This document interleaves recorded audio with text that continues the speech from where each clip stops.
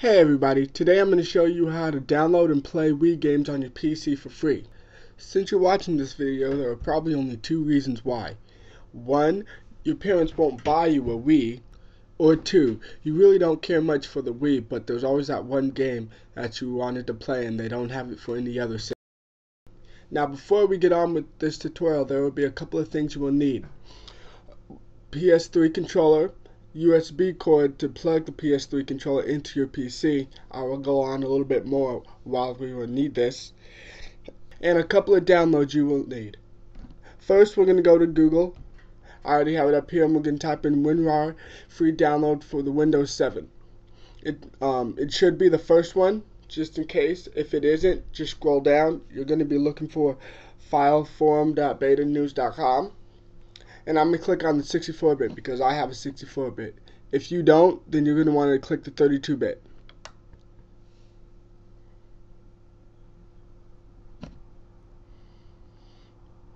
Okay, so once you're here, you're going to want to click download now.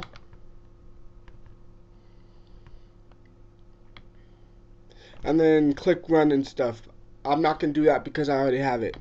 But you want to make sure you get this Okay, so next we're going to want to go back and we're going to want to type in Dolphin emulator and this is what's going to allow you to play the Wii games. So you're going to want to click the first one. Mm -hmm. And then click download. They update this site pretty frequently, so like this one only happened 13 hours ago, so that's pretty good. And once again, if you have 32-bit, click 32-bit. Alright, the download should start in 5 seconds, but just in case if it doesn't, you're going to want to click here. And then press open. While that's downloading, you're going to want to right click go to new folder and type in emulator. I'm not going to save this one because I already have it and it's already downloaded in there. So, I'm going to click no. Alright, so what you're going to want to do is from here, you're going to want to click extract. And from extract, you're going to want to go to where it says desktop. And from there, you're going to want to look for the emulator you folder you created. And then you click that and click OK. And once you have that and it's done, you're going to want to go straight to the emulator. Make sure you have all these files. If you don't, you're just going to want to uninstall it and reinstall it. So go to Dolphin. And right here, I already have a game. But what yours should say is no ISOs or WADs found, which means there are no games. So now what we're going to do is we're going to make a new folder and we're going to add ISO or WADs, whichever one you get. I get ISOs because they're easier.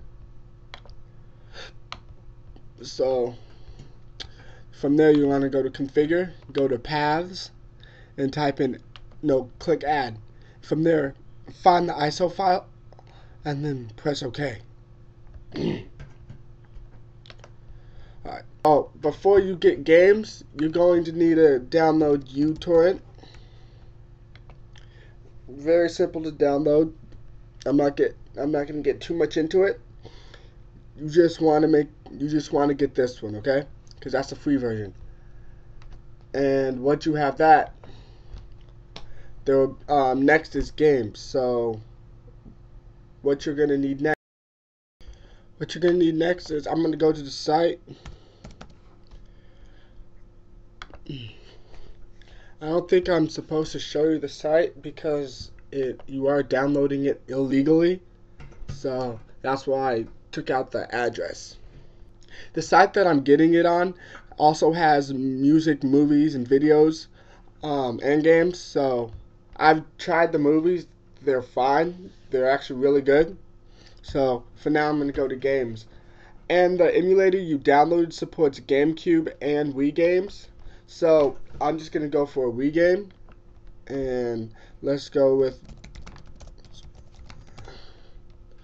Monster Hunter. Yeah. When you're downloading a game, you're gonna want to pay attention to the SE and the number below it. Um, the higher the number is, the faster the download will go by. So, just once. That's just something you probably want to pay attention to in the future. And the type, it shows um, Wii games, handhelds, so like PlayStation, portable, and all that stuff. So, gonna go to Wii, and we're gonna get the full game. Okay, so here it is. Gonna want to ignore all this and click get this torrent. And from here, it's gonna say allow. You say allow. I'm not going to because I already downloaded this game. And if I say allow, it'll start the whole thing over. So, okay, so now that you have Monster Hunter downloaded, you're gonna want to click that. You're gonna want to right click and open containing folder. From here, uh, I don't think this is supposed to be here. So you're want to right click this game and put add to Monster Hunter. And then it'll download. It'll take a little bit and then this will show up. And then from there you want to put extract uh, Monster Hunter 2. And since I already have it extracted, I'm not going to go into that. And make sure you extract it to the ISO that you made a while back. So click it. See, it's right here.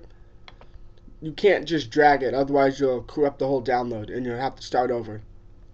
So now you click this, go to the dolphin, and then you can double click the game. And here it is, it's setting up just like a normal Wii, starting up the game. File created, and then boom, here it is. I'm gonna exit this out Next, um, you, you remember the PlayStation 3 controller and the USB cord I was talking about? Now would be a good time to get it out. Yeah, I like to use I like to use the PlayStation 3 controller because I always I've always had a PlayStation and I just like how small it is. I don't like the Xbox. If you want to use the Xbox controller, you can go ahead but since I'm not, this is what I'll use. So, and you can use your keyboard if you want, but I just think that's annoying and a lot harder. So now, exit that out. So we're going to go back to the internet. From the internet, go to Google, type in Motion Joy. Click the first one. Alright. And now, right here, the most recent download, download link. Mm-hmm. And then here it is 64 bit, 32 bit. Click that one. I already have it downloaded, so I'm not going to click that but I don't think I've installed it. So once you've had it downloaded, this is where it would be. You want to double click it. After you double click it, this will show up. And then click next, next, next.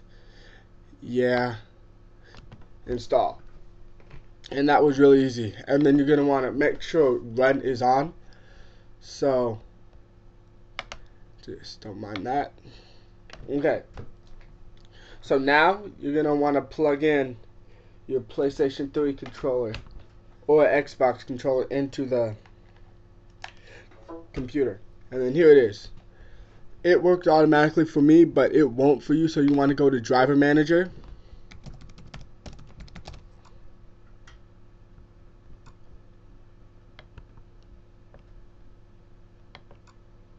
Yeah, driver manager. And make sure your PlayStation or Xbox controller is plugged in when you're doing this. So once you go to driver manager, you're going to want to click on this type and click load driver. And then from there, it should be fine. It should be working. And it shows you um, that it's charging right now. You can put it on any one of these. This program was made for like if you had a PlayStation 2 controller, you can click it on on Xbox 360 controller to make the um pro to make the computer think that the PlayStation 3 controller is a 360 controller. And to also make sure it's working, you can do vibration test. You want to click enable. From there, do vibration test. And boom, it's working. So now that you have that, you're going to want to configure the control settings to the Wii emulator. So oh, I have two open. Let's just exit that one out. Okay, so for me, we want to go straight to Wiimote and make sure the first one says emulated Wiimote because that's what it is. It's not a real remote. So you click configure. Don't worry about any of this. This is garbage. And then go to extension and make sure it's on classic. And then from there, press configure. And you'll see these two those two dots moving and it's moving the same way I'm putting my analog sticks. And so here you're just gonna want to click this and then when it says waiting that's the window you have to adjust it. So like boom. And then it, it's actually really easy. And then the same for the left stick. Just flick it up down left right and modifier, I just click um, L3, and then you do the same for that for right stick, and then the triggers, of course, and then the directional pad is the same too. So after that, click OK. You can call it something. Let's call it demo. And here it goes. Oh, and you're gonna want to make sure it says D input zero motion joy virtual game controller. Otherwise, it's just not going to work. Press OK. Press OK again. And then click the game again. Now it, everything should go by a lot faster. Oh. Thank you, my trusty laptop.